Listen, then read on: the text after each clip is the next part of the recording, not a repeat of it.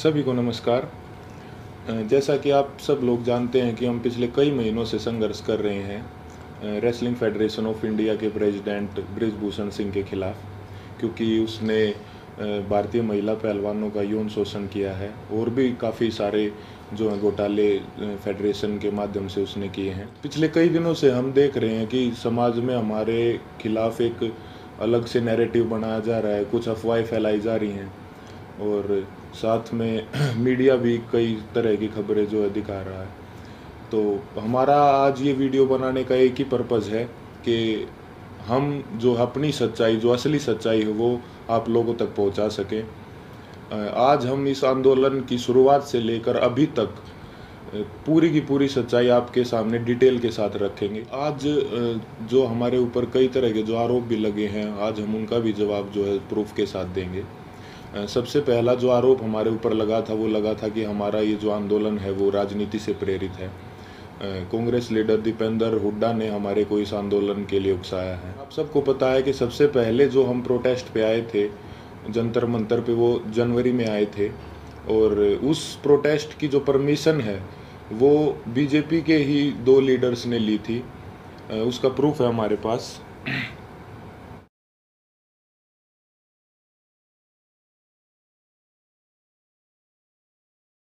Protest की जो permission जो जंतर मंतर थाने से ली गई थी, वो बीजेपी लीडर तीर्थ राणा और बीजेपी लीडर बबीता फोगाट ने जो वो परमिशन ली थी, जिसका प्रूफ भी अभी हमने आपको दिखाया।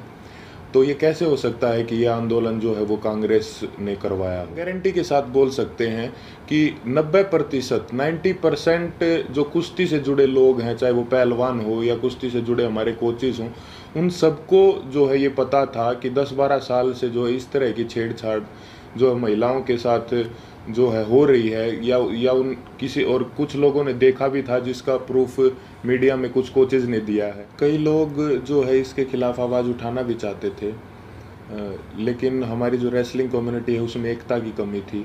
अगर किसी ने जो सिंगल सिंगल अगर ये आवाज़ उठाने का फैसला भी किया तो वो बात जो है रेसलिंग जो है फेडरेशन के प्रेसिडेंट तक पहुँच जाती थी और उस आदमी के कैरियर में दिक्कत आना स्टार्ट हो जाती थी। लगातार और बार बार हमने सभी को बताया है कि जो हमारी लड़ाई, वो सरकार के खिलाफ नहीं है। हमारी लड़ाई जो है रेसलिंग फेडरेशन के प्रेसिडेंट के खिलाफ है, क्योंकि जो भी शोषण उसने किया है, जो भी रेसलिंग के लिए गलत किया है, वो उसने फेडरेशन के पद पर बने रहते हुए किया है। और हमारी लड़ाई सरकार से वैसे भी नहीं हो सकती, क्योंकि जो मैंने अभी आपको पीछे बताया कि जो है ब्रिजभूषण भी जो है वो रूलिंग पार्टी से ही सांसद है। और जो जिन्होंने प्रोटेस्ट की परमिश परमिशन ली, वो भी जो है बीजेपी के ही लीडर हैं। तो इससे तो ये साफ़ होता है कि भाई, हमारी लड़ाई सरकार के साथ नहीं थी।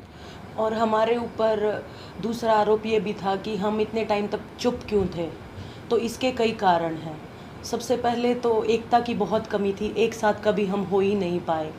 और इसका दूसरा कारण तो आप समझ ही सकते हैं कि माइनर जो लड़की जिसने 161 के बयान दिए, फिर 164 के, उसके कई दिन बाद जो है उसने अपने बयान बदले, क्योंकि उसके परिवार को डराया गया, धमकाया गया। तो सिंगल सिंगल आवाज़ उठा भी कैसे सकते थे? कुश्ती में आने वाले सभी खिलाड़ी बहुत ही गरीब परिवार से होते हैं।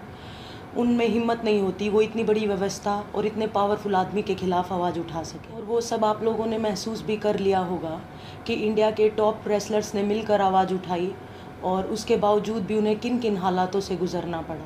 28 तारीख को महिला पहलवानों के साथ जो व्यवहार हुआ, वो पूरे देश ने देखा है। कैसे उनको ज़बरदस्ती घसीटा गया और कैसे जो उनको ज़बरदस्ती अरेस्ट किया गया? जबकि हमने कोई भी जो है कानून नहीं तोड़ा था, ना ही किसी संविधान का उल्लंघन किया था।